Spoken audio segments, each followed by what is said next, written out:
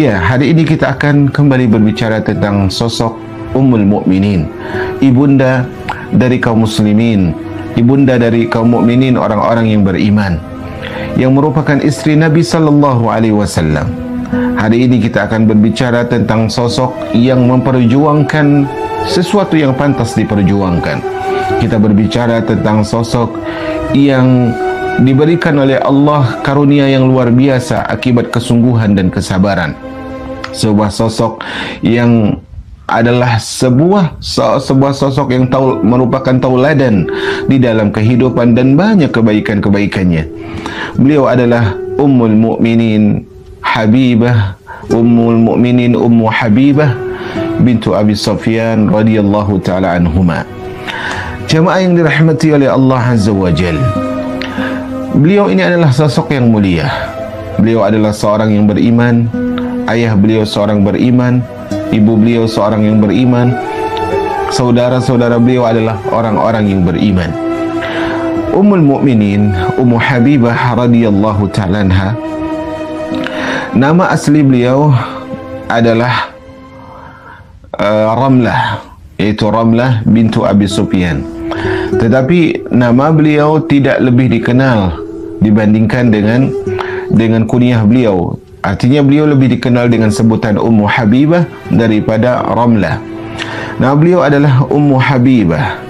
Ramlah bintu Abi Sufyan yang mana Abu Sufyan namanya Sakhar bin Harb bin Umayyah bin Abdul Syam bin Abdul Manab bin Kushay bin Kilab bin Murrah bin Ka'ab bin Lu'ay bin Ghalib bin Fihir bin Malik Al-Qurashiyah Al-Umayyah. Jadi Ummu Habibah Rablah radhiyallahu ta'ala anha Ummul Mukminin adalah seorang wanita yang secara nasab sangat mulia. Dia merupakan salah satu dari kabilah merupakan salah satu putri dari kabilah Quraisy Quraisy sehingga beliau disebut dengan Quraisy Quraisyiyah atau Qurasyiyah dan beliau juga merupakan salah satu dari Bani Umawi yaitu sehingga beliau disebut dengan Al-Umawiyah.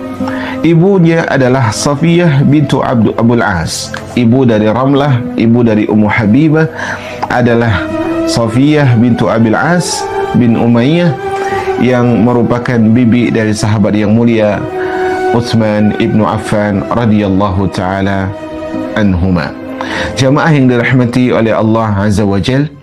Sosok inilah insyaAllah Azza wa Jal Yang akan kita sebutkan secara singkat biografinya. Kemudian kita berusaha masing-masing dan semampu kita Untuk mengambil dan mengikuti keteladanan beliau radhiyallahu ta'ala anha. Jamaah yang dirahmati oleh Allah Azza wa Jal Ummu Habibah Atau Ramlah bintu Abi Sufyan adalah seorang wanita yang hidup dengan kemuliaan nasab dan kedudukan ayahnya. Ayah beliau Abu Sufyan bin Harb. Jadi Ummu Habibah hidup bersama ayahnya di Mekah dengan kehidupan yang tentunya adalah kehidupan yang dihormati. kehidupan yang mulia di tengah-tengah masyarakatnya. Di sisi lain, walaupun kehidupan Ummu Habibah radhiyallahu taala adalah kehidupan yang dihormati, kehidupan yang disanjung dengan kedudukan nasab dan kedudukan ayahnya di tengah-tengah masyarakat. Ummu Habibah adalah seorang wanita yang tayyibah. Seorang wanita yang baik jiwanya. Seorang wanita yang tentram jiwanya. Ummu Habibah adalah seorang wanita yang raqiqatul qalbi. Yang hatinya tersebut lembut. Hatinya mudah tersentuh dengan kebaikan. Hatinya mudah menerima segala macam kebenaran. Dan Ummu Habibah adalah sosok yang mencintai kebaikan. Bukan untuk dirinya saja, tetapi dia mencintai kebaikan buat seluruh yang ada di sekitarnya. Apalah lagi setelah beliau radhiyallahu taala menjadi seorang muslimah. Dan jiwa-jiwa seperti ini saudari-saudariku dan pemirsa, jiwa yang baik, yang hatinya lembut, mencintai kebaikan, menyayangi orang sekitar. Jiwa seperti ini itu sangat akrab dengan kebaikan. Sangat mudah untuk mendapatkan hidayah. Karena hidayah itu memang secara mutlak hak Allah. Tetapi Allah Azza wa Jal berikan hidayah itu kepada orang yang pantas menerimanya. Hati-hati hati atau kalbu yang baiklah yang pantas menerima hidayah. Jiwa yang tentram yang pantas menerima petunjuk. Jiwa yang peduli dengan sesama yang mengutamakan kebenaran itu adalah jiwa-jiwa yang pantas untuk diberikan ketenangan dan kebahagiaan oleh Allah Azza wa Jalla. Jadi sejak kecil sejak remaja walaupun sebelum diutusnya Nabi SAW Ummu Habibah sudah memiliki jiwa-jiwa yang baik. Karena itu yang terpenting yang yang yang yang terpenting dalam kehidupan seorang muslim dan muslimah adalah bagaimana dia berusaha terus untuk memperbaiki jiwanya. Karena itu Allah Azza wa Jalla mengatakan qad ablaha man tazakka wa dzakara rabbih fasalla telah beruntunglah orang yang mensucikan dirinya kemudian dia ingat Rabbnya dan dia salat. Qad aflaha man zakkaha wa qad khaba man dassaha. Telah beruntung orang yang mensucikan jiwanya membersihkan jiwanya dan telah merugi orang-orang yang mengotori jiwanya. Berlalulah hari demi hari ya. Sampai akhirnya Allah Subhanahu wa taala mengutus Muhammad bin Abdullah sallallahu alaihi wasallam sebagai nabi dan sebagai rasul untuk mengeluarkan manusia dari kegelapan menuju cahaya yang terang benderang. Dan adalah Ummu Habibah salah satu yang mendengar dakwah tersebut. Terdengar ada seorang nabi, ada seorang yang mengatakan dia seorang rasul, terdengar oleh Ummu Habibah. Dan tatkala Ummu Habibah radhiyallahu taala anha mendengar berita diutusnya nabi dan rasul, yaitu Muhammad bin Abdullah sallallahu alaihi wasallam. Saat itu Ummu Habibah sudah dalam keadaan menikah. Ummu Habib dan kita ketahui ya Nabi SAW menikahi seorang gadis hanya Aisyah. Dan saat mendengar berita diutusnya Nabi dan Rasul Ummu Habibah sudah menikah. Dan suami beliau radhiyallahu taala anha adalah Ubaidullah ibnu Jahash. Saya ulangi Ubaidullah ibnu Jahash dan akhirnya pasangan suami ini jemaah yang pasangan suami istri ini mereka mendengar ada orang yang mengatakan dia nabi ada orang yang mengatakan dia adalah seorang rasul dengan bukti-bukti yang ada. Maka berimanlah Ummu Habibah dan suami beliau Ubaidullah ibnu Jahash kepada Nabi sallallahu alaihi wasallam. Mereka beriman karena mereka mengetahui bahawa Nabi sallallahu alaihi wasallam adalah as-sadiqul amin. Se seorang yang sangat jujur, seorang yang dipercayai dan sangat masyhur kejujuran dan amanahnya Nabi sallam di tengah-tengah penduduk Mekah. Tetapi jemaah yang dirahmati oleh Allah Azza wa Jal, kita ketahui bahawa sejak ayah beliau, yaitu Abu Sufyan, adalah salah satu orang yang sangat memusuhi Islam dan sangat keras pertentangan menentang Islam yang dibawa oleh Nabi sallallahu alaihi wasallam. Jemaah yang dirahmati oleh Allah Azza wa Jal, di situlah bermula memperjuangkan hidayah tersebut semakin tidak mudah. Karena seorang putri yang masuk Islam sementara ayahnya adalah seorang yang sangat membenci Islam tersebut.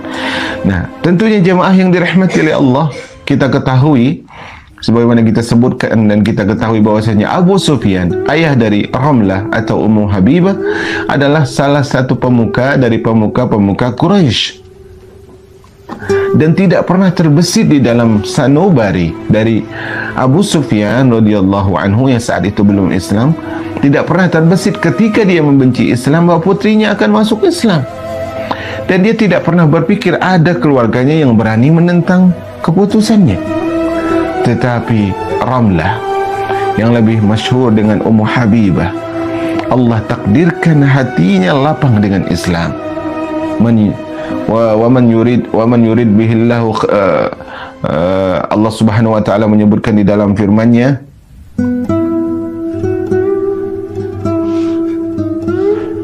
wa man wa man yurid wa man yuridillahu bi khairan yashrah sadrahu lil Islam siapa yang Allah inginkan kebaikan buatnya Allah lapangkan hatinya untuk Islam Jadi kelapangan hati untuk kebenaran, untuk menerima kebenaran itu adalah hal yang luar biasa. Karena itu ketika kita mulai dilapangkan oleh Allah hati kita untuk menerima kebenaran. Jangan menjauh dari sinyal-sinyal kebenaran itu. Karena kalau kita sudah mulai menjauh, maka kefuturan, kemalasan, kecuekan, ogah-ogahan, acuh tak acuh itu akan muncul. Dan itu membuat kita bisa terhindar bahkan menjauh bahkan terhalangi dari kebaikan tersebut. Allah Subhanahu wa taala lapangkan dada Ummul Mukminin Ramlah Ummu Habibah sehingga mendak, mengijabahi dakwah Rasul sallallahu alaihi wasallam dan membuang agama nenek moyangnya dari penyembahan kepada berhala berhala. Dan tentunya ayah beliau Abu Sufyan berusaha untuk mengembalikan putrinya kepada agama sebelumnya yaitu agama penyembahan berhala. Tetapi tidaklah berhasil Abu Sufyan karena Allah Subhanahu wa taala telah menyemai benih-benih iman di dalam relung kalbu dari Ummu Habibah radhiyallahu taala anha. Kalau seandainya seluruh penduduk bumi dan penduduk langit. Berusaha untuk mencabut akar keimanan yang telah Allah kokohkan tersebut tidak akan ada yang mampu.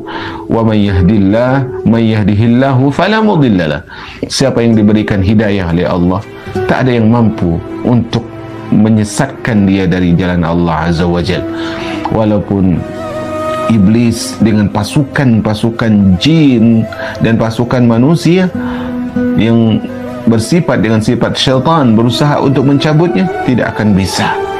Jamaah yang dirahmati oleh Allah Azza wa Jal. Dan kita ketahui kehidupan kaum muslimin di Mekah ya dengan dakwah jahriyah terang-terangan yang dilakukan oleh Nabi sallallahu itu tidaklah mudah.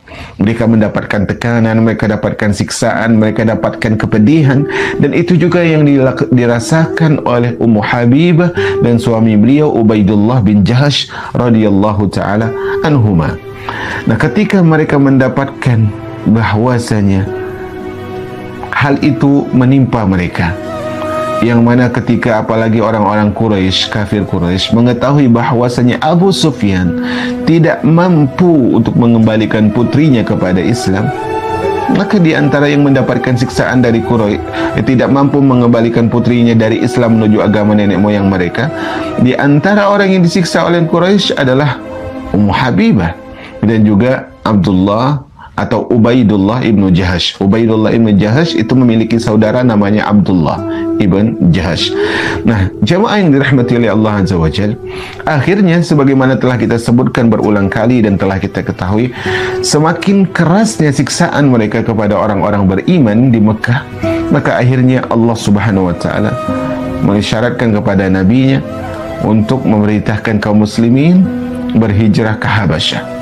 Berhijrah ke Habasyah ketika Nabi SAW khawatir keburukan menimpa para sahabat Ridwanullah alaihi majma'in dan inilah seharusnya sikap seorang yang menginginkan kebaikan dia berusaha menyelamatkan agama orang yang dia cintai. Ketika Nabi SAW khawatir keburukan menimpa para sahabat fitnah menggerogoti agama mereka maka Rasulullah SAW memerintahkan mereka untuk lari membawa agama mereka ke negeri Habasyah. Maka mereka tinggallah ke negeri Habasyah. Mereka tinggal ke negeri Habasyah meninggalkan Mekah. Dan tentunya ketika Ummu Habibah berusaha berjalan meninggalkan kota Mekah, Ummu Habibah melihat negeri Mekah dan sedih hati Ummu Habibah. Bagaimana tidak sedih kota yang ditinggalkan adalah kota kelahiran. Negeri yang ditinggalkan adalah negeri yang penuh dengan kebaikan Mekah. Tidak ada negeri sebaik Mekah. Tiada negeri yang lebih dicintai oleh Allah daripada Makkah. Bagaimana dia tidak sedih? Karena negeri tersebut adalah negeri dia dilahirkan, negeri dia tumbuh, negeri dia besar, negeri dia mendapatkan hidayah dari Allah Azza wa Jal dengan sebab tangan Rasul sallallahu alaihi wasallam tetapi dia harus lebih memilih menyelamatkan agama daripada menahan daripada mempertahankan apa yang dia cinta berupa perkara-perkara dunia. Dia lebih ingin menyelamatkan agamanya daripada mempertahankan perkara-perkara dunia yang dia cinta. Tentunya Ummu Habibah di dalam perjalanan mereka dari Mekah ke Madinah. Bukan perjalanan yang bukan perjalanan yang uh, mudah akan disebutkan oleh ahli sejarah Ummu Habibah radhiyallahu taala saat itu dalam kondisi hamil. Dan itu tidak mudah berjalan untuk menyelamatkan agama dari kejaran orang-orang, dari gangguan orang-orang yang membenci. Dan transportasi zaman dulu tidak seperti sekarang. Letih, penat, dan semua itu menyusahkan. Tetapi manisnya mempertahankan iman melupakan segala kepahitan. Bahagianya mempertahankan keislaman itu melupakan segala kepedihan. Dan itulah yang diperjuangkan oleh Ummul Mukminin yang saat itu belum menjadi istri Nabi SAW Ramlah bintu Abi Sufyan atau Ummu Habibah radhiyallahu taala anha dan ketika mereka sampai ke negeri Habasyah kita ketahui bahwasanya Najasyi radhiyallahu An-Najasyi rahimahullah menerima para sahabat ridwanullah alaihi majma'in dengan kebahagiaan, dengan sambutan yang luar biasa, dengan kebahagiaan yang luar biasa. Tetapi jamaah yang dirahmati oleh Allah Azza wa Jal, hijrahnya Ummu Habibah bersama Nabi bersama suami Ubaidullah ibnu Jahsh radhiyallahu taala anhu ke Habasyah yang hari-hari mereka di sana penuh dengan kebahagiaan. Tetapi ingat Allah Subhanahu wa taala mengatakan wa tilkal ayyam nudawiluha bainan nas. Itu hanyalah hari-hari yang kami putar di dalam kehidupan manusia. Hari ini dia sedih.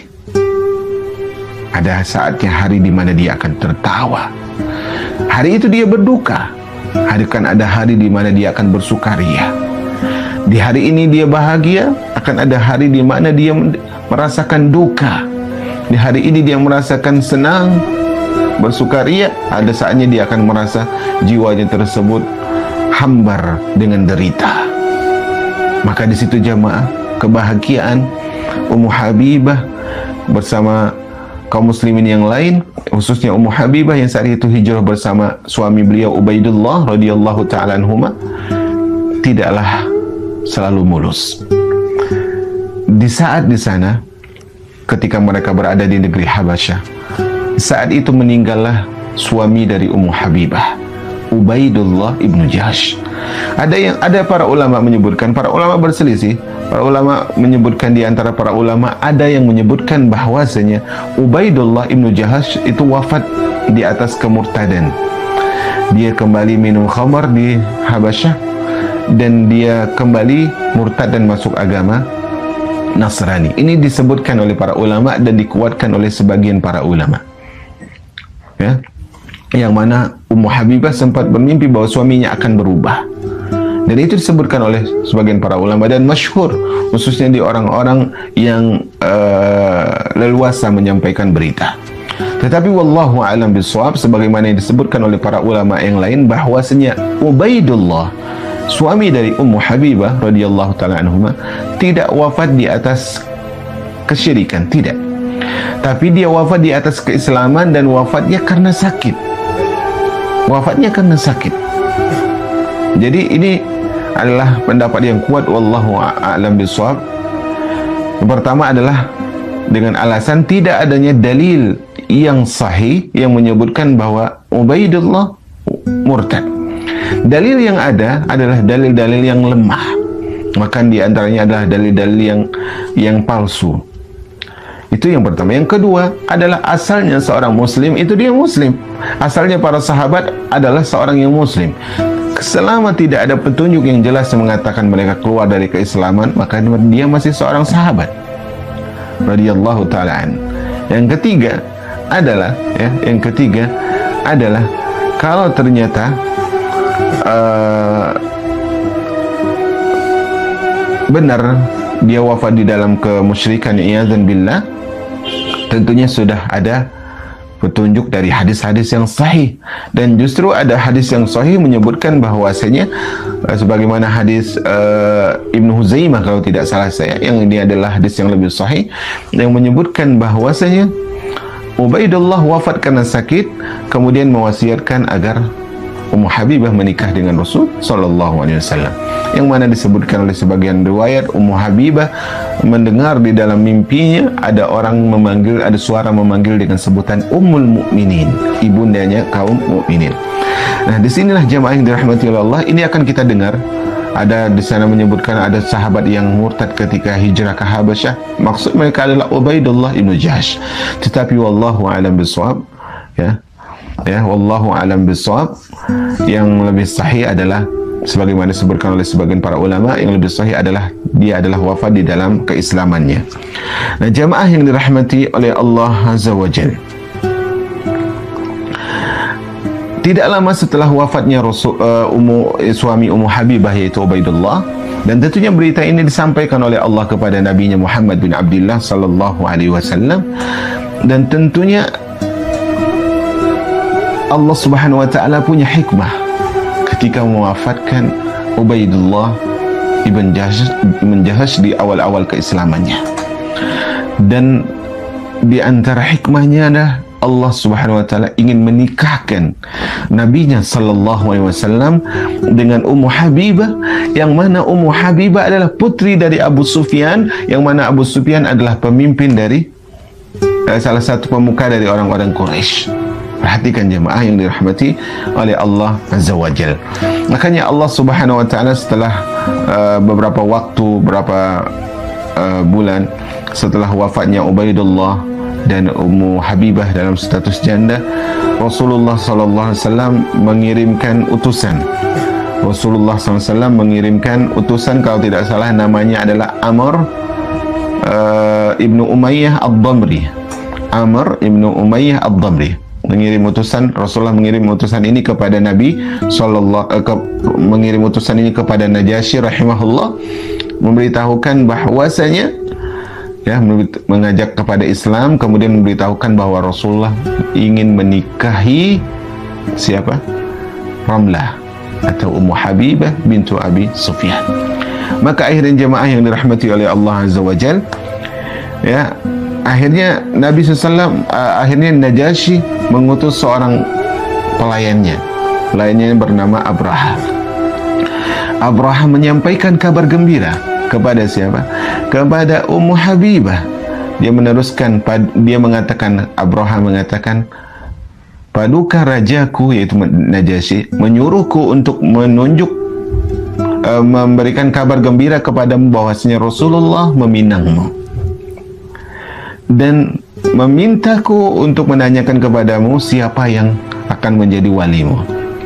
Di antara yang hijrah itu adalah Khalid bin Sa'id bin Al-As yang merupakan kerabat dari uh, Ummu Habibah. Akhirnya uh, mahar pernikahan tersebut diberikan oleh Najasyi kepada Ummu Habibah yang jumlahnya adalah kurang lebih kalau tidak salah 300 dinar, kalau tidak salah sih kurang lebih 800 juta.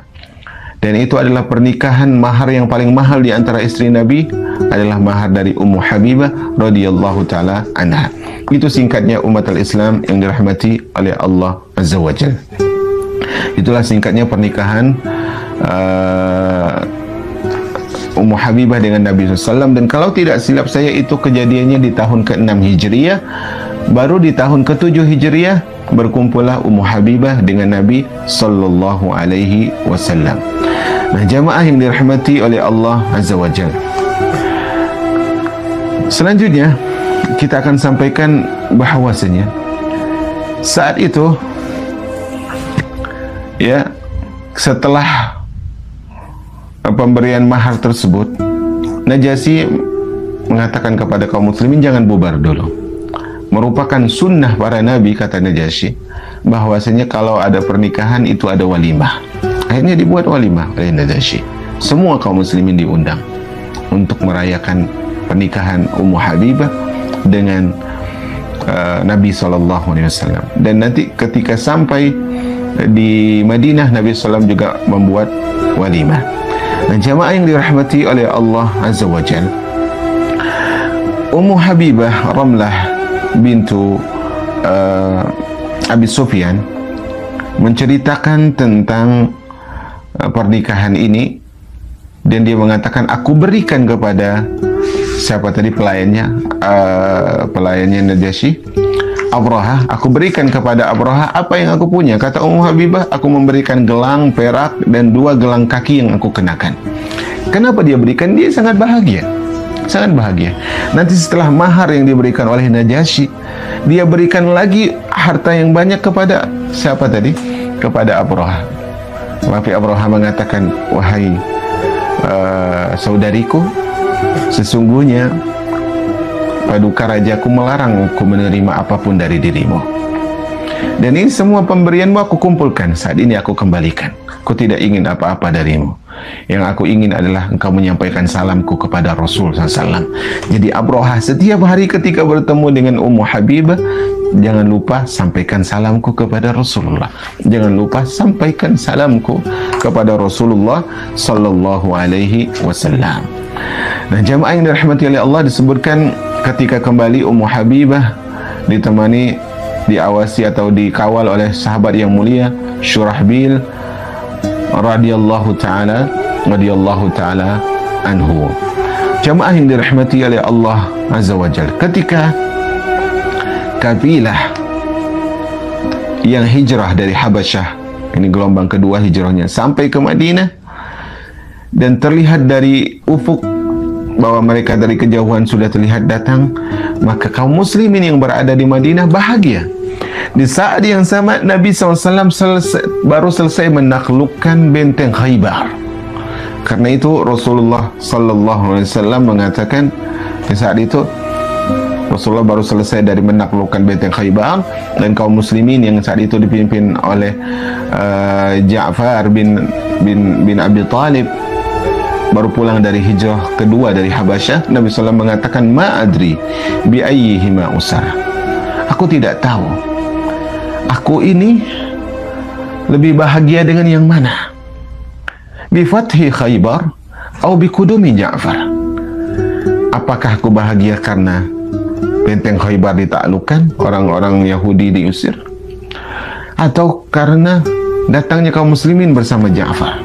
Subhanallah kebahagiaan bersama di waktu-waktu dan Allah Subhanahu wa taala banyak memberikan kebaikan kepada kita umat Islam.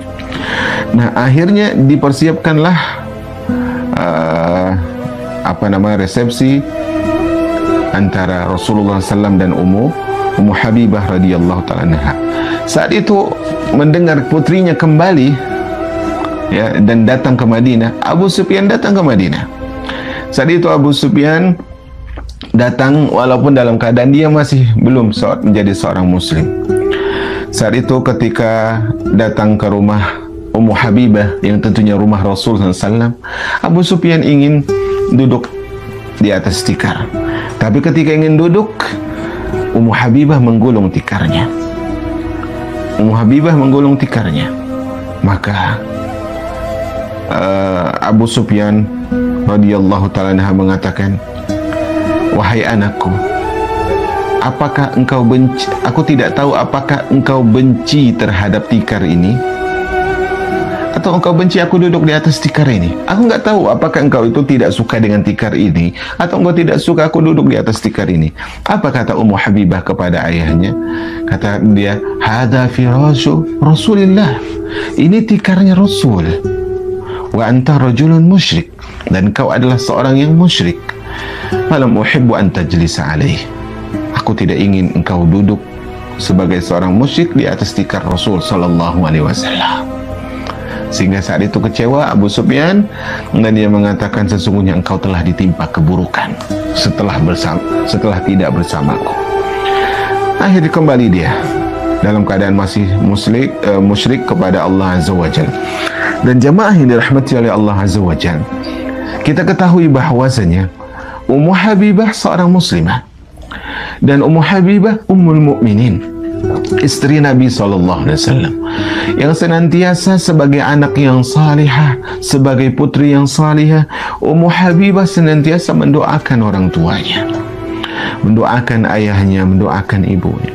Tentunya permusuhan ayahnya itu didoakan agar berubah jadi cinta kepada Islam dia selalu mendoakan hidayah, mendoakan keimanan dan Islam untuk ayahnya radhiyallahu taala anhuma. Maka ketika Nabi SAW berazam untuk mendatangi Mekah untuk melakukan Fathul Mekah dalam keadaan mereka mendatangi Mekah tanpa perperangan dan di antara berita-berita bahagia yang beriringan dengan Fathul Mekah yang sampai di telinga Ummul Mukminin Ummu Habibah Ramlah bintu Abi Sufyan.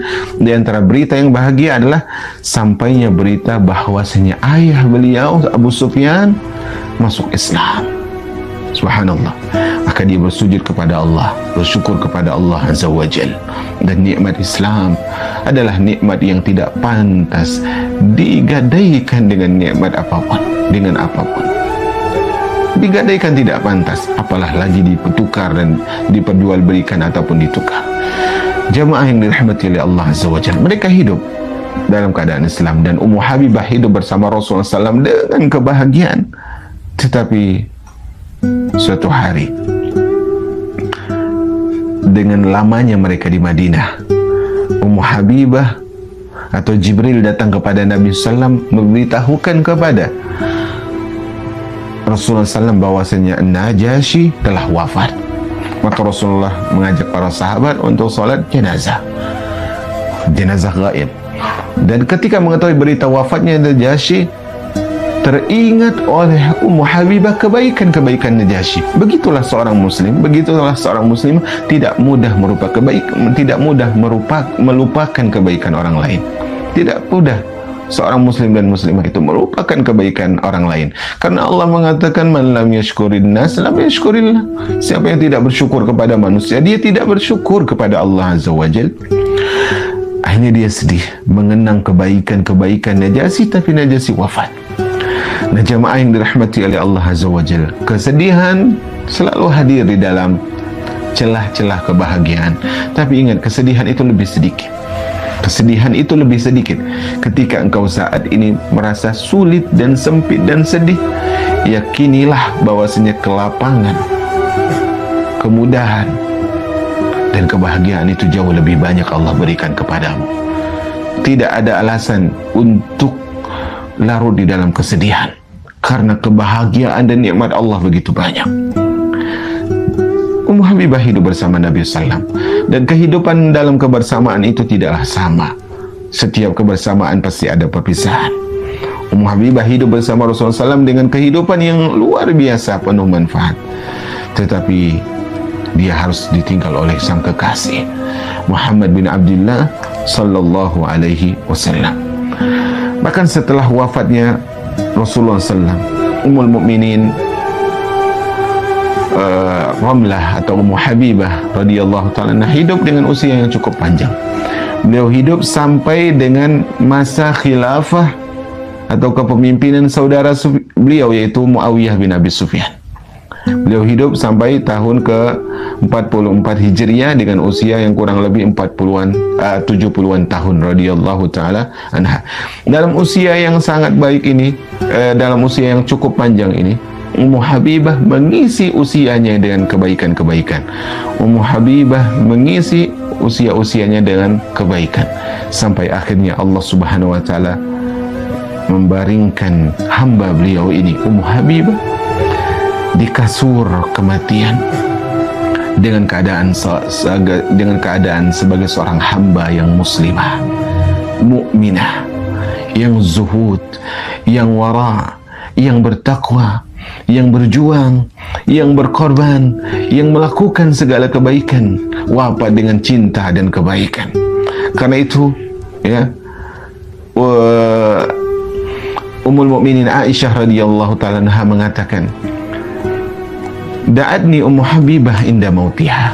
Ummu Habibah radhiyallahu anha kata Aisyah radhiyallahu anha, "Da'atni Ummu Habibah inda mautiha."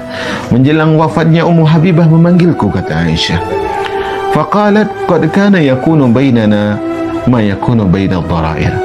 Ummu Habibah mengatakan kepada Aisyah, "Wahai Aisyah, wahai saudariku, sesungguhnya di antara kita terjadi konflik kon, kon, terjadi konflik problem yang itu biasa terjadi antara madu dengan madu yang lain." Faghfarallahu li walaki makana min zalik. Semoga Allah mengampuniku dan mengampuni engkau atas apa yang telah terjadi. Maka Aisyah mengatakan, Ghafarallahu lak. Zalika kullah. Semoga Allah mengampuni semua itu untukmu. Maka Ummu Habibah mengatakan, Sarhartani, sarhakallah. Engkau telah buat aku bahagia, wahai Aisyah. Semoga Allah membahagiakan engkau. Kemudian dipanggil istri Nabi Sallam satu persatu yang masih hidup. Dipanggil Ummu Salamah dikatakan yang demikian. Dan mereka meridoi dengan apa yang terjadi kepada kepada Ummu Habibah radhiyallahu taala anha. Nah, jemaah yang dirahmati oleh Allah Azza wa Jal.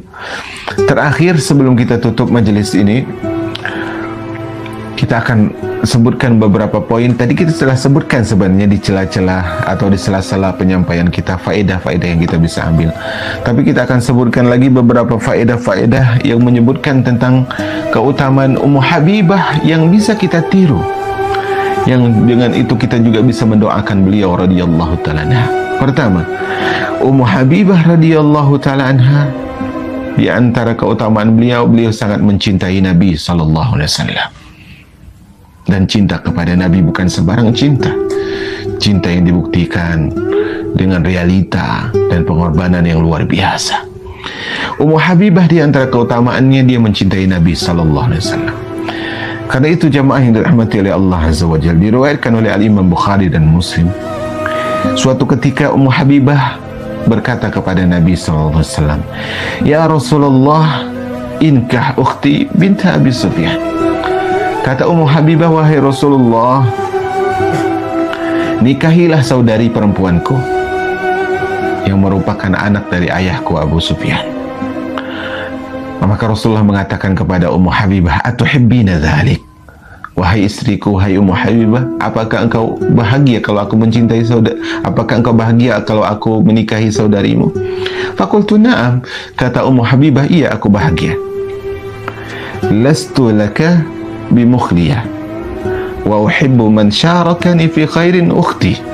Kata Ummu Habibah iya aku bahagia. Aku tidak aku tidak ingin hanya aku yang jadi istrimu wahai Rasul. Kata Ummu Habibah aku tidak ingin hanya aku yang jadi istrimu. Dan aku ingin saudariku juga mendapatkan kebaikan yang aku dapat dengan menikah bersamamu. Maka Rasulullah SAW mengatakan inna dzalika la yahillu Wahai istriku, wahai Ummu Habibah, itu enggak halal bagiku. Enggak halal bagiku menikahi seorang wanita, kemudian aku nikahi lagi saudarinya. Enggak halal di waktu yang bersamaan. Maka ketika mendengar Rasulullah menyebutkan itu tidak boleh bagiku, maka Ummu Habibah mengatakan, Fa inna nuhadisu annaka turidu an tankiha binti Abi Salimah. Wahai Rasulullah, kau katakan kau tidak halal menikah dengan saudariku. Tetapi kabar yang aku dengar, bahwa engkau akan menikah dengan putrinya Ummu Salamah. Kita ketahui Ummu Salamah istri Rasul. Kami mendengar wahai Rasul, engkau akan menikah dengan putri Ummu Salamah. Maka Rasulullah SAW mengatakan bintu Ummi Salamah. Kata Rasul, bintu Ummi Salamah anak putrinya dari Ummu Salamah. Kata Ummu Habibah, "Nah, iya, engkau akan menikahkan dengan putrinya Ummu Salamah." Makanya aku suruh menikah dengan suami, dengan saudariku saja. Tapi engkau katakan enggak boleh. Tapi engkau mau nikah dengan putri Ummu Salamah. Rasulullah katakan, "Lau anna halam takun rabibati fi fi hujri mahalat li." Kata Rasulullah, kalaulah seandainya putri dari Ummu Salamah itu bukan anak tiriku yang ada dalam pengasuhanku. Anak tiri dalam pengasuhan itu tidak boleh dinikahi bersama ibunya. Kalaulah dia bukan karena anak tiriku di dalam pengasuhanku, dia juga tidak halal aku nikahi. Lian, uh, li, kenapa? Li, karena putri dari Ummu Salamah adalah uh, anak dari perempuan yang uh, kata Rasulullah SAW innaha libnatu akhi minar radha'ah karena putri Ummu Salamah adalah anak dari saudariku sesusuan. Jadi seperti menikahi anak sendiri. Arda'atni wa Abu Salamah Suwaibah. Karena aku pernah aku dan Ummu Abu Salamah pernah disusui oleh Suwaibah. Karena itu tidak menikah dengan tidak boleh menikah dengan putri dari Ummu Salamah. Itu di antara keutamaan Ummu, Ummu Habibah. Keutamaan kedua dari Ummu Habibah adalah Ummu Habibah sangat keras dalam uh, sangat keras, sangat semangat dalam mengikuti sunnah Nabi SAW. Sangat serius dalam berittiba kepada Nabi Sallallahu Alaihi Wasallam. Buktinya adalah Ummu Habibah sendiri yang meriwayatkan hadis dari Nabi Sallallahu Alaihi Wasallam yang mana hadis tersebut sering sebagian kita dengar Rasulullah